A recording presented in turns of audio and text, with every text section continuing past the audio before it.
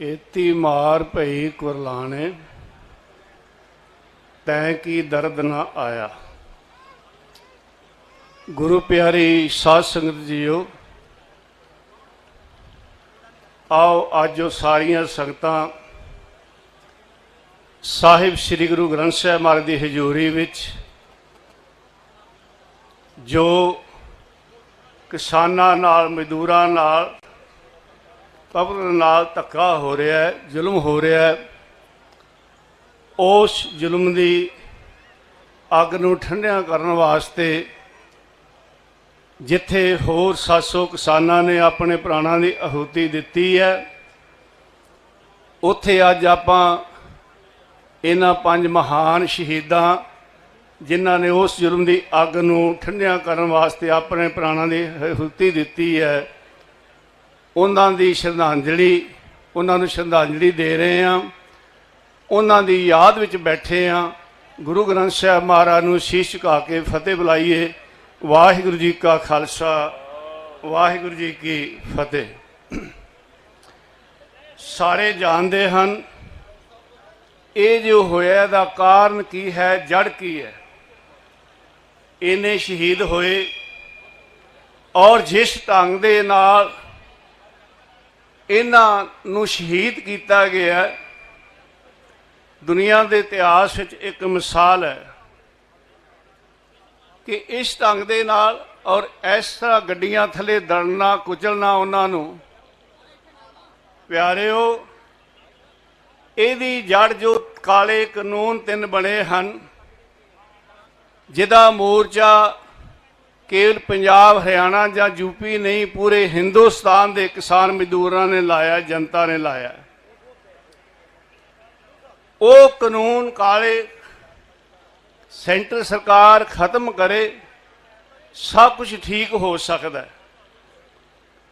ਪਰ ਅਸੀਂ ਸੁਣਿਆ, ਤੁਸੀਂ ਵੀ ਸੁਣਿਆ ਕਿ ਸੈਂਟਰ ਦੀ ਜਿਹੜੀ ਆਵਾਜ਼ ਹੈ, ਉਹ ਕੀ ਹੈ? ਕਿ ਕਿਸਾਨਾਂ ਦੀ ਜਿਹੜੀ ਦੂਰੀ ਹੈ ਉਹ ਸਿਰਫ ਇੱਕ ਕਾਲ ਹੈ ਤਾਂ ਮੈਂ ਦੋ ਲੈਣਾ ਲਿਖੀਆਂ ਨੇ ਕਿ ਇਹ ਜਿਹੜੀ ਕਾਲ ਹੈ ਇਹਨੂੰ ਕਿੰਨਾ ਸਮਾਂ ਹੋ ਗਿਆ ਕਿਸਾਨों और सरकार की दूरी है एक काल है और नंबर अभी तक नहीं दिया बीत गया पूरा साल है एक साल बीत गया ਔਰ ਕਿੰਨੇ ਕਿਸਾਨ ਸ਼ਹੀਦ ਹੋ ਚੁੱਕੇ ਆ, ਅੱਜ ਤੱਕ ਕੋਈ ਫੈਸਲਾ ਨਹੀਂ ਹੋਇਆ। ਇਥੋਂ ਤੱਕ ਕਿ ਹਰਿਆਣੇ ਦੇ ਮੁੱਖ ਮੰਤਰੀ ਨੇ ਜਿਹੜਾ ਪਿੱਛੇ ਕਿਹਾ ਸੀ, ਉਹਦੇ ਬਾਰੇ ਵੀ ਮੈਂ ਇੱਕ ਬੇਨਤੀ ਕੀਤੀ ਹੈ, ਕੋਈ ਦੋ- ਦੋ ਲਾਈਨਾਂ ਲਿਖੀਆਂ ਹਨ ਕਿ ਲਾਠੀ ਬਰਸਾਏ, ਜੇਲ੍ਹ ਜਾਏ, ਲੀਡਰ ਬਣ ਕਰ ਆਏਗੇ। ਹਰਿਆਣੇ ਦਾ ਮੁੱਖ ਮੰਤਰੀ ਕਹਿੰਦਾ ਖੱਟਰ। ਕਿ ਲਾਠੀ ਬਰਸਾਏ ਜੇਲ੍ਹ ਜਾਏ ਲੀਡਰ ਬਣ ਕਰ ਆਏ ਔਰ ਜਿਹੜੇ ਇਹ ਪੰਜ ਸ਼ਹੀਦ ਹੋਏ ਨੇ ਇਹਨਾਂ ਦੀ ਚਿਖਾ ਆਤਮਾ ਤੋਂ ਇੱਕ ਆਵਾਜ਼ ਨਿਕਲੀ ਹੈ कि जिन्होंने हमें गाड़ियों के इस नीचे कुचला है क्या उसको सीएम या पीएम बनाएंगे लाठी बरसाने जेल जाए लीडर बन आएंगे जिन्होंने हमको ये आत्मा ये शहीदा की आत्मा बोल रही है चिखा जो आवाज आ रही है कि जिन्होंने हमको गाड़ियों के नीचे कुचला है क्या फिर उनको सीएम या पीएम बनाएंगे ਇਹ ਕੀ ਹੋ ਰਿਹਾ ਸਾਧ ਸੰਗਤ ਜੀ ਦਾਸ ਇੱਕ ਬੇਨਤੀ ਹੈ ਜੋ ਤੁਸੀਂ ਸਬਰ ਰੱਖਿਆ ਹੈ, ਧੀਰਜ ਰੱਖੀ ਹੈ ਸ਼ਾਂਤੀ ਰੱਖੀ ਹੈ ਉਸ ਨੂੰ ਸ਼ੀਸ਼ ਝੁਕਾਉਂਦਾ ਹੈ। ਪਰਿਵਾਰ ਸ਼ਹੀਦਾਂ ਦੇ ਬੈਠੇ ਨੇ ਦਾਸ ਘਰ ਘਰ ਤੇ ਨਹੀਂ ਪਹੁੰਚ ਸਕਿਆ, ਇੱਥੋਂ ਹੀ ਉਹਨਾਂ ਨੇ ਨਾਲ ਬੇਨਤੀ ਕਰਦਾ ਹੈ ਕਿ ਜੋ ਤੁਹਾਡੇ ਨਾਲ ਵਾਪਰਿਆ ਕੇਵਲ ਤੁਹਾਡੇ ਨਾਲ ਹੀ ਸਮਝੋ ਕਿ ਸਾਰਿਆਂ ਦੇ ਪਰਿਵਾਰ ਦੇ ਉਹ ਮੈਂਬਰ ਸਨ। ਇਹ ਸਾਰੀਆਂ ਸੰਗਤਾਂ, ਸਾਰਾ ਦੇਸ਼ ਸਦਾ ਤੁਹਾਡੇ ਨਾਲ ਹੈ। ਮੇਰੇ ਨਾਲ ਬਾਬਾ ਕਸ਼ਮੀਰਾ ਸਿੰਘ ਜੀ ਲੌਰਾਂ ਵਾਲੇ ਆਏ ਨੇ।